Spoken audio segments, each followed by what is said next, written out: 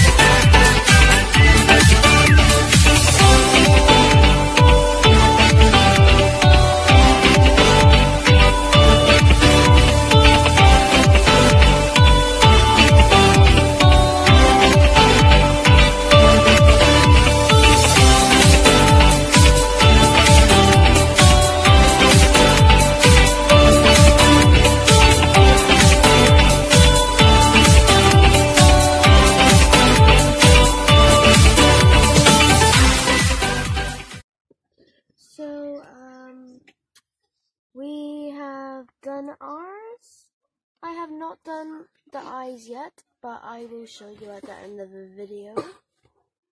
Um, but yeah, I absolutely love mine. I did mine, but it's not dry, so I'm not picking it up yet. Mine is also not dry. I just picked it up by the wing.